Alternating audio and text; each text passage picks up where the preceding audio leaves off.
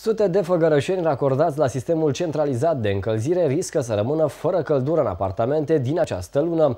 Motivul sunt datoriile mult prea mari pe care le-au acumulat la societatea de furnizare a agentului termic.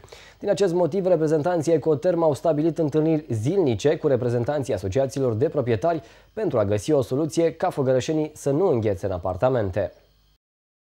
Tot mai mulți făgărășeni racordați la sistemul centralizat de încălzire uită la sfârșitul lunii să plătească sumele pe care le-au de achitat. Din acest motiv, oamenii au strâns datorii mari și cu greu le mai pot plăti către societatea de furnizare a agentului termic. Din acest motiv, reprezentanții Ecoterm au stabilit întâlniri zilnice cu președinții asociațiilor de proprietari, acolo unde sunt probleme, pentru a găsi o soluție. Astfel, mâine, de la ora 10, la sediul Ecoterm, sunt așteptați președinții de asociații din 15 blocuri cu datorii foarte mari. Pentru ca situația să nu se agraveze, iar făgărășenii să nu rămână în prag de sărbători fără căldură în apartamente, asociațiile trebuie să fie de acord cu cesionarea datoriilor pentru apartamentele cu datorii mai mari de 500 de lei sau cu blindarea caloriferelor acolo unde sunt apartamente cu datorii mai mari de 1000 de lei. În cazul în care președinții asociațiilor de proprietari nu vor fi de acord cu aceste măsuri, se va trece la asistarea agentului termic în blocurile cu datorii. Mai mult, există riscul ca făgărășenii să fie dați în judecată.